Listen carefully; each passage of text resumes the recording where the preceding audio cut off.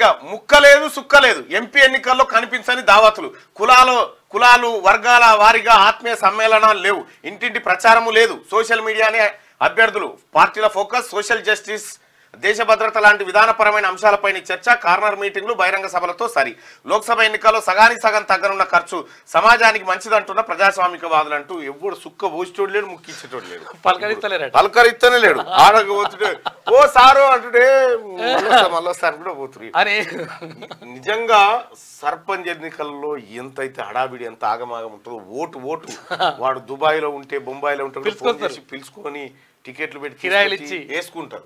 కానీ ఎంపీ ఎన్నికలలో చిన్నగా ఉంటుంది ఆ ఎంపీ ఎన్నికలు. ఈ- ఎంపీ ఎన్నికలు. ఏడు నియోజకవర్గాలు ఉంటాయి. ఏడు అసెంబ్లీ నియోజకవర్గాలు ఎమ్మెల్యే ఎమ్మెల్యే అయితేనేమో ఓ రెండు లక్షల ఓట్లు ఉంటాయి. మా మా అంటే ఒక ఏడు మండలాలు లేదా ఎనిమిది మండలాలు. అంతే. ఏడు మండలాలే. ఏడు మండలాలు ఎనిమిది మండలాలు ఉంటాయి. ఎమ్మెల్యే. ఐదు నుంచి ఎనిమిది మండలాలు. ఈ ఎంపీకి వచ్చేసరికి ఈ ఏడు అసెంబ్లీలు ఉంటాయి. ఏడు అసెంబ్లీలు ఉంటాయి. ఏడేళ్ళు నలభై తొమ్మిది అయితే అప్పుడు. ఏడు అసెంబ్లీలు ఉంటాయి. ఇదే ఇట్లా అంటే ఇక నా ఇప్పుడు మనం పోటీ చేస్తున్న ఎమ్మెల్సీ ఇది ఇప్పుడు ఇప్పుడు వరంగల్ నల్గొండ ఖమ్మం పట్టభద్రుల ఎమ్మెల్సీ ఈ ముప్పై నాలుగు అసెంబ్లీలు. ఏడుగురు మంత్రులు ఐదు ఐదు స్థానాలు. ఐదు ఎంపీలు. ఐదు ఎంపీలు ఇవి- పార్లమెంట్ ఇవి ఐదు ఎంపీలు. లోక్సభ స్థానాలు. ఐదు ఎంపీలు. ఏడుగురు మంత్రులు? ఏడుగురు ఏడుగురు మంత్రులు ఈ పరిధిలో ఉంటారు అన్నట్టు. ఉంటారు. ఈ ముప్పై నాలుగు అంటే అంటే పావు తెలంగాణ. జిల్లాలు కూడా. పావు పావు తెలంగాణ పన్నెండు జిల్లాలు. ముప్పై శాతం తెలంగాణ. ముప్పై శాతం ముప్పై శాతం తెలంగాణకు ఇవి ఒక ఎమ్మెల్సీ. ఒక్క ఎమ్మెల్సీ. ఇగో ఈ ఎమ్మెల్సీ. మనం పోటీ పడుతున్నటువంటి ఎమ్మెల్సీ. సో పోయినసారి చాలా అయితే నేను పోయినసారి అంటే వట్టిగా ఆషామాషిగా రాలే ఈ వ్యవస్థ అంతా. తిన్మార్ మల్లన్న ఎన్ అప్పుడు ఎంత కష్టపడ్డామో ఎంత ఆ పేరు తీసుకురావడానికి మేము చేసిన కృషి ప్రజలందరూ ఇచ్చినటువంటి సహకారం ఉత్తది కాదు.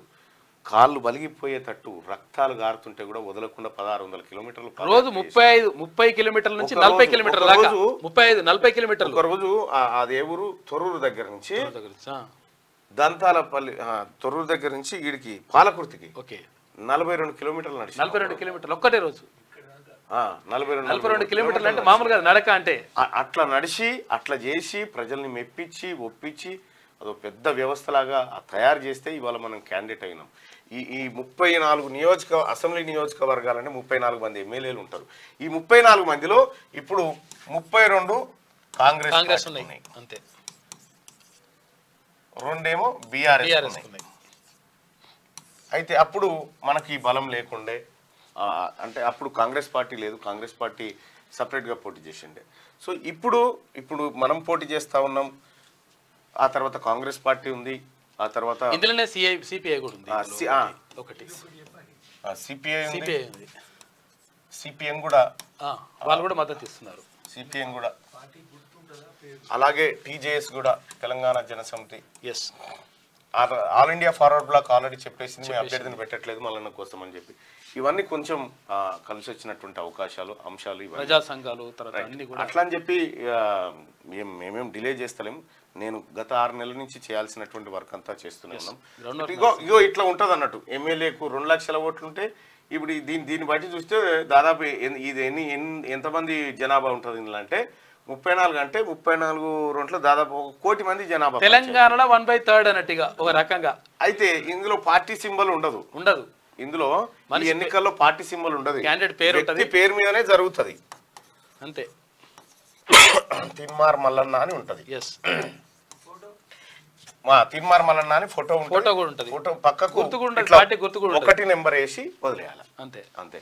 అయితే విషయం ఏంటంటే పోయినసారి నా బ్యాలెట్ బ్యాలెట్లో సీరియల్ నెంబర్ ముప్పై తొమ్మిది. తొమ్మిది ముప్పై తొమ్మిది కూడా వెతుక్కొని? వెతుక్కొని వెతుక్కొని వేసారు పబ్లిక్ వాళ్ళందరికి నిజంగా. వాళ్ళ వాళ్ళ కాలు మొక్కిన రుణం తీరది. రైట్గా సుక్క లేదు, ఇక ముక్క లేదు. సుక్క లేదు ముక్క లేదు ఎవడిస్తాడు ఎందుకు ఇస్తాడు అభ్యర్థులకు కూడా అర్థమైపోయింది. ఈ ఇచ్చేదేదో ఆఖరు ఒక్క రోజు ఏదో.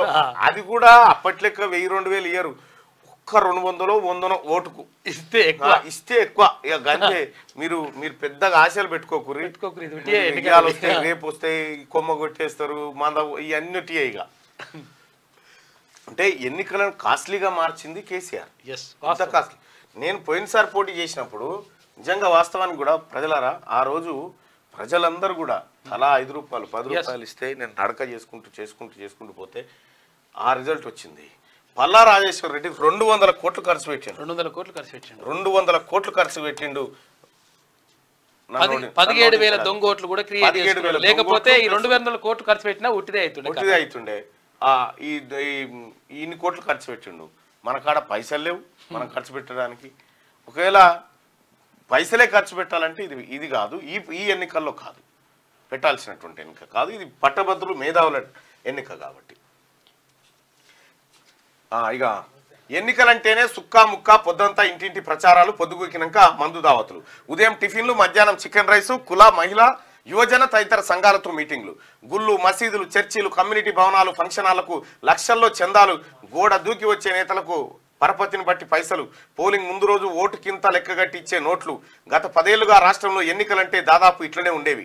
క్యాండిడేట్ను ప్రకటించింది మొదలు ఓటరు ఈవీఎం మీద నొక్కేదాకా కోట్ల కోట్లు ఖర్చయ్యాయి. గత లోక్సభ ఎన్నికలతో పాటు మొన్నటి అసెంబ్లీ ఎన్నికల్లోనూ ప్రధాన పార్టీల అభ్యర్థుల సరాసరి ఖర్చు వంద కోట్లు దాటిన పరిస్థితి ఉండేది. కేసీఆర్ హయాంలో ఎన్నికలు కాస్ట్లీ.